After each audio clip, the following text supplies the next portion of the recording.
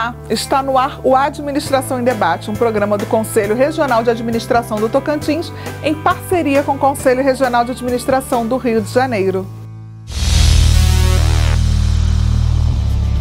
Na segunda parte do programa Administração em Debate sobre a terceira Assembleia de Presidentes, realizada em agosto no Rio de Janeiro, você irá saber mais sobre o lançamento do 14º Fórum Internacional de Administração, sobre a opção da retirada do registro de comprovação de aptidão online, a plataforma da web aula e uma entrevista com o presidente do Conselho Regional de Administração do Tocantins, administrador Rogério Ramos. Confira.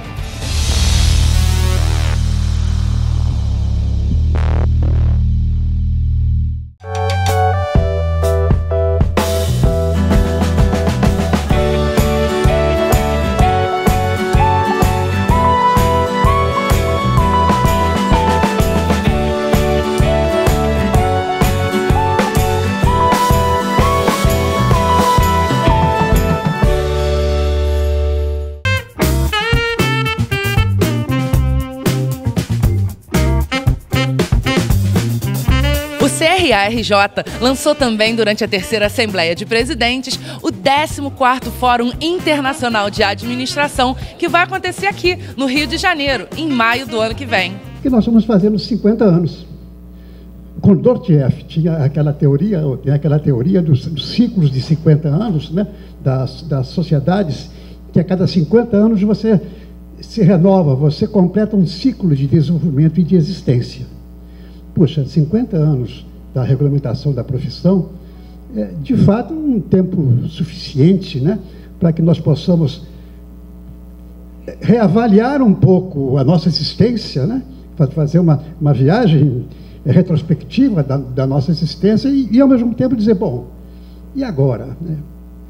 O que, que, que, que se espera do administrador para os próximos 50 anos? Nós não temos as respostas do que se espera, mas nós temos alguma possibilidade, e esse é o objetivo do, do, do fórum, de analisar como é que nós estamos hoje nas várias questões maiores que estão em todas as análises de cenário do, do mundo, desde o do, do fórum, do, do fórum de, de, Davos até outro, outros eventos, quais são grandes questões que estão em discussão no mundo, que nós precisamos estar atentos e, dentro dos nossos limites, exercer algum protagonismo. O CRA-RJ apresentou também a plataforma Web Aula de Educação à Distância da Universidade Corporativa CRA-RJ, Centro de Educação Continuada Gilda Nunes. E hoje a gente está entrando numa, numa uma nova era, porque através desse contrato agora com a Web Aula, além dos cursos que a gente chama de prateleira, que vão ser oferecidos gratuitamente para os administradores adimplentes, com desconto para os inadimplentes. E também vai ser aberto à sociedade, a, a um custo que ainda a gente vai avaliar. É, nós vamos ter os cursos com conteúdos específicos é, montados para os administradores, sempre pensando no que a gente precisa, no que os administradores vêm demandando, no que a gente identifica nas palestras que a gente faz no CRA no Por exemplo, que ocorre. a gente estava discutindo aqui a questão de mediação e arbitragem. A gente coloca o curso de mediação e arbitragem, uma articulação com o Conselho Federal, e esse curso passa a ser do sistema, né, no logotipo do sistema, e é um curso absolutamente à, à distância. Esse é um exemplo. Exatamente, esse é o um exemplo. Então, agora, esse é um novo momento nós vamos trabalhar com conteúdos específicos para os administradores, pensando no que, que o administrador está demandando, o que, que o mercado está demandando do administrador, e isso é que importa agora para nós. O CRA-RJ apresentou também a RCA de pessoa física e pessoa jurídica durante a Assembleia de Presidentes. O RCA de pessoa física e pessoa jurídica é uma, é uma questão para nós muito importante. Eu sei que a maioria dos conselhos aqui não utilizam RCA de pessoa física. Nós também não utilizávamos. Eu sabia o caso apenas do, do Pará, que o companheiro Célio, que faz registro, que faz RCA de pessoa física. Que, em verdade, é uma certidão, uma certificação, né? Do conselho. faz, todos nós fazemos, por razões legais, o, o, o RCA de pessoa jurídica. Nós hoje fazemos as duas, e as duas pelo sistema de autoatendimento. Nós estamos falando de uma coisa que já está no ar, que está operando, a tal ponto que esse ano nós estamos com pessoa jurídica em sistema há dois anos. Esse ano nós tivemos uma surpresa. Quase nenhuma empresa foi no conselho. Nós temos uma central de atendimento. Aqueles primeiros dias que aquela correria das empresas para pegar o atestado, quase ninguém foi. Porque no ano passado já era possível fazer por autoatendimento. Mas eles não fizeram. Mas como o empresário é esperto, ele logo aprendeu. As empresas registradas no conselho, elas vão poder, através do seu autoatendimento, efetuar o cadastro dos, dos atestados, é, para poder ter a certificação desses atestados para participar de licitação. Ela, ao cadastrar o RCA, ela tem a tela para solicitar quem vai entrar como responsável técnico, cadastrar os dados do contratante e anexar os documentos que são necessários para essa certificação. Onde ela faz isso? Lá no conselho? Não precisa mais. Ela faz da empresa, faz de casa. Ela não tem a necessidade de comparecer ao CRA para levar a documentação. Ela só vai aparecer no conselho num primeiro momento, que é para ter o atestado carimbado. Depois dele registrado, ele não precisa mais retornar ao conselho. Para renovar, ela faz direto da empresa novamente. No final, a finalização do cadastro vai depender da liberação do responsável técnico o administrador vai receber um e-mail, um comunicado de que a empresa citou ele como responsável técnico para que ele possa liberar e o conselho poder dar andamento a essa certificação.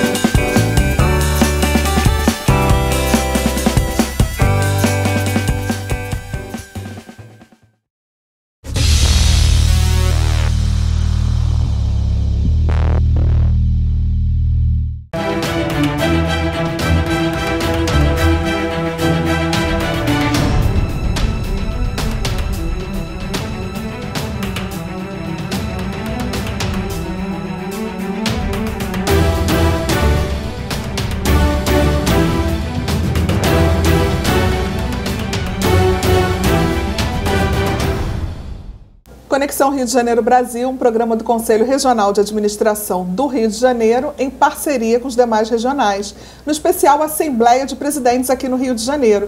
Eu estou com o administrador Rogério Ramos, presidente do Conselho Regional de Administração do Tocantins. Tudo bem, Rogério? Bom dia, tudo bem. Seja muito bem-vindo pessoalmente ao Conexão. Já conversamos por telefone numa outra oportunidade, né? É sempre um prazer estar aqui, principalmente na cidade maravilhosa, no Rio e também especialmente com vocês, essa equipe maravilhosa do CRA-RJ. Nós estamos na Assembleia de Presidentes, onde todos os regionais estão aqui presentes, e o CFA também, que é o Conselho Federal de Administração. Como ficam os desafios para 2015 frente ao CFA? É, nós somos candidatos a, a conselheiro federal em chapa única pelo Tocantins. Provavelmente, se o branco e o nulo não nos vencer, nós seremos é, representando o Tocantins no Conselho Federal. E é, essa reunião que nós temos aqui de presidentes, ela teve a abertura do presidente Wagner Cirqueira, é, presidente do Rio de Janeiro, que é, recepciona todos os presidentes aqui na Cidade Maravilhosa. E, sem dúvida nenhuma, uma grande reunião. E o que mais nos chamou a atenção foi o seu discurso e as suas ponderações sobre o novo desafio é, da, da próxima gestão do CFA, é, com quanto a modernização e com quanto a melhoria da, da profissão do administrador em todo o país. E alguns pontos que ele colocou, que foram muito, muito interessantes e que, na verdade, o próprio CRA Rio de Janeiro já atua com muita intensidade, que é nessa questão da uniformização dos procedimentos, da informatização, da divulgação através de TV web, TV e da rádio do CRA-RJ. Então são grandes projetos que nós entendemos que devem ser é, é, é, trazidos ao CFA e ele proporcionar aos regionais esse tipo de, de projeto. É, essa responsabilidade de poder nivelar o, todo o sistema no país é uma responsabilidade única do CFA. E o CFA tem que trabalhar nisso com muita intensidade. Hoje, nós, ao chegarmos na frente, na porta do CRARJ, e ao chegarmos na frente, na porta do CRA Tocantins, nós temos que ter reservado as proporções a mesma impressão, porque é um sistema só. E isso é, é como um pai, uma mãe que tem ali 27 filhos, né, neste caso, e é, o amor desse pai e dessa mãe, é, a gente que é pai e que é mãe, a gente sabe, é, é, é um amor que todos têm a mesma proporção. Isto é um amor igual, não há diferenciação de pai de um filho para o outro. Né? E isso tem que ser a temática do CFA. Nós precisamos nivelar o Brasil na estrutura de todos os, de todo o sistema e grandes projetos podem ser elencados. E isso é um grande desafio. Né? A gente tem modelos fantásticos, e eu menciono novamente o Rio de Janeiro, que é exemplo para todo o país. Nós tivemos uma parceria muito intensa no programa de televisão no Tocantins. Ainda que, temos. Que temos, né? Que, que efetivamente é, é, é veiculado numa, na TVE, num canal aberto, né? Para todos os municípios do estado, estão fazendo que a difusão dos conhecimentos e da profissão chegue aos diversos locais do Estado, é, levando e engrandecendo essa profissão que a gente tanto ama e que tanto é pujante e tanto tem que crescer. E a gente sabe que esse é um exemplo de, de muita coisa que pode ser feito, né? Toda essa integração nacional, isso vai fortalecer a profissão e tudo. Por outro lado, a gente nota que nacionalmente também é necessário ter uma grande articulação política, política mesmo, dentro do Congresso Nacional principalmente. Nós precisamos efetivar, mudar as nossas leis, criar condições legais para que o administrador possa exercer sua profissão de forma intensa, de forma reconhecida pela sociedade. Portanto, nós precisamos mobilizar o Congresso Nacional para que a gente possa efetivar boas leis em favor do administrador. E são diversas temáticas, inclusive na própria regulamentação é, do exercício profissional. É, hoje, muitos dos nossos atos eles são sustentados por portarias. E essas portarias não têm força legal e são facilmente derrubadas nas instâncias é, de primeira instância, segunda instância da justiça. Então, nós precisamos ter uma, uma, uma, uma lei mais intensa, mais moderna, mais é, é, atuante e que dê a condição. Hoje, por exemplo, se você pegar é, um, um, um, bacharel em direito, assinar uma, uma petição e mandar para um juiz, ele corre ser até preso, uhum. porque ele tem que ter a OAB para fazer isso. Né? Se qualquer pessoa, né, um técnico em edificações, assinar um projeto, o CREA não reconhece e ele também não, não consegue executar aquele projeto e ter aquela situação. Então, um, um balanço contábil não pode ser assinado por qualquer um, tem que ser um contador. Então, são questões que, que são prementes do administrador. Obrigada pela sua participação, administrador Rogério Ramos. Eu que agradeço.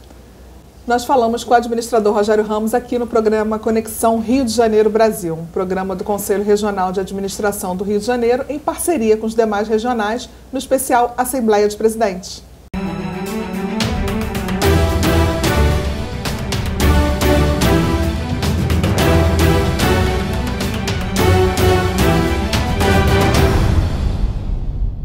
O Administração em Debate desta semana fica por aqui. Na próxima semana, um programa só para você aqui em Tocantins. Até lá!